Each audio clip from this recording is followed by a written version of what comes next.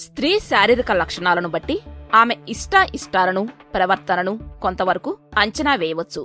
మన భారతీయ ప్రాచీన గ్రంథాలను అనుసరించి దీనికి అవుననే సమాధానం చెప్పాల్సి వస్తుంది. మనిషిని సృష్టించిన బ్రహ్మ కూడా స్త్రీ మనసులో ఏముందో తెలుసుకోలేడు అని చెబుతారు. అంత సంక్లిష్టమైన లోతైన మనస్తత్వం ఆమెది. చాలా విషయాల్లో ప్రాచీన భారతీయ సమాజానికి మార్గనిర్దేశనంగా నిలిచిన ఆచార్య చాణిక్య రచించిన చాణక్య నీతి స్త్రీ మనస్తత్వాన్ని గురించి కూడా కొన్ని వివరణలు ఇచ్చింది.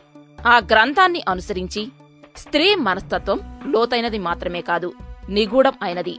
చాలామంది మహిళలు తమ భావోద్వేగాలను అంత సులువుగా బయటపెట్టరు.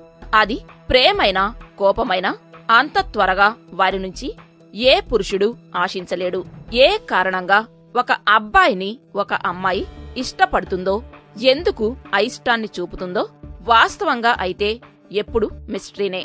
అయితే ఆమె నిద్రించే భంగిమను బట్టి ఇటువంటి స్వభావం ఉన్న అబ్బాయిని ఇష్టపడే అవకాశం ఉందో అంతవరకు చెప్పొచ్చు అనేది చాణక్య నీతిలో చెప్పబడ్డ కొన్ని వివరణల సారాంశం. దాని ప్రకారం వెల్లకిలా కాళ్ళు చేతులు ముడవకుండా నిద్రించే అమ్మాయి జీవితంలో ప్రతి విషయంలోనూ బ్యాలెన్సింగ్ కోరుకుంటుందని జీవితం పట్ల చాలా అందమైన భావనలు ఉంటాయని ఇటువంటి అమ్మాయిలు డామినేటింగ్ వ్యక్తిత్వం ఉన్న అబ్బాయిలను ఇష్టపడతారు. ఒక బోర్లా నిద్రించే అమ్మాయిల విషయానికి వస్తే వీరు చాలా డామినేటింగ్గా ఉంటారు.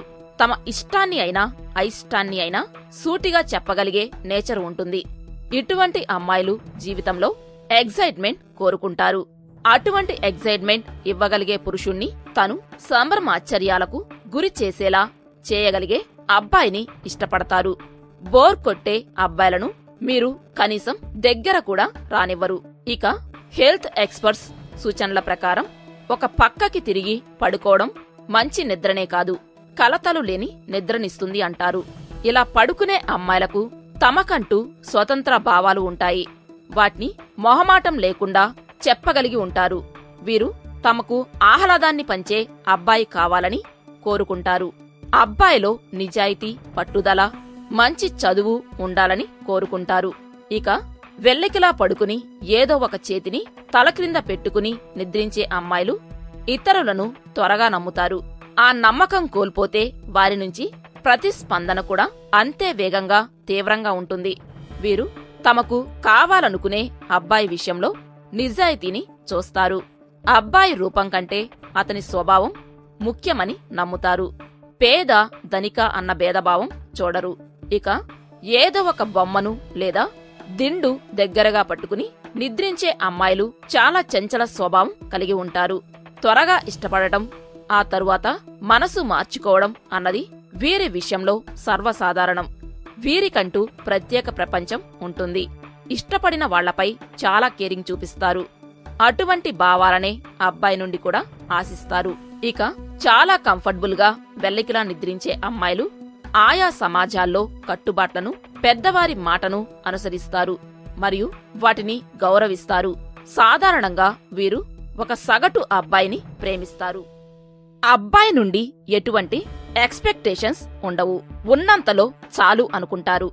ఇక ముడుచుకుని నిద్రించే అమ్మాయిలలో ప్రతి దానికి ఒక అవధి ఉంటుంది అని పరిమితులు లోబడే ఆలోచించాలి అని వాటికి తగినట్టే బ్రతకాలి అని నమ్ముతారు. వివాహం చేసుకున్న అబ్బాయికి అంకితం అవుతారు. అతడి కుటుంబానికి విలువ ఇస్తారు. బాధ్యత ఫీల్ అవుతారు కొందరు మెలికలు తిరిగి నిద్రిస్తూ ఉంటారు. వీరికి నిర్భయత్వం ఎక్కువ. ఎలాంటి పరిస్థితుల్లో అయినా వివేకాన్ని ప్రదర్శిస్తారు.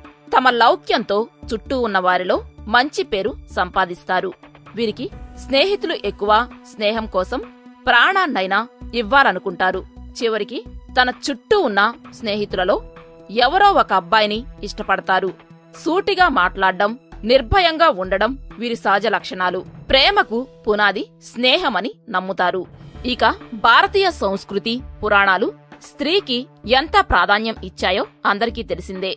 అమ్మాయి పుట్టింది అంటే ఇంట లక్ష్మీదేవి పుట్టింది అని సంబరాలు చేసుకునే కుటుంబాలు ఎన్నో ఉన్నాయి. అలాగే వివాహం తరువాత మెట్టినింట లక్ష్మీదేవి వచ్చిందంటూ పరిగణించే సంస్కృతి కూడా మనదే. సాముద్రిక శాస్త్రం ప్రకారం ఏ లక్షణాలు ఉన్నా స్త్రీలకు భర్తకి బిడ్డలకు అదృష్టకారి అవుతుందో చెప్పబడింది. దాని ప్రకారం కోమలమైన సన్నగా ఉండే పాదాలు గల స్త్రీ భర్తకి బహు ప్రీతిపాత్రురాలు అవుతుంది. తాను కూడా ఎప్పుడు తన భర్తకి దగ్గరగా ఉండాలని కోరుకుంటుంది. ఇటువంటి స్త్రీ వలన ఆ ఇంట్లో సుఖ సంతోషాలతో కొదవుండదు.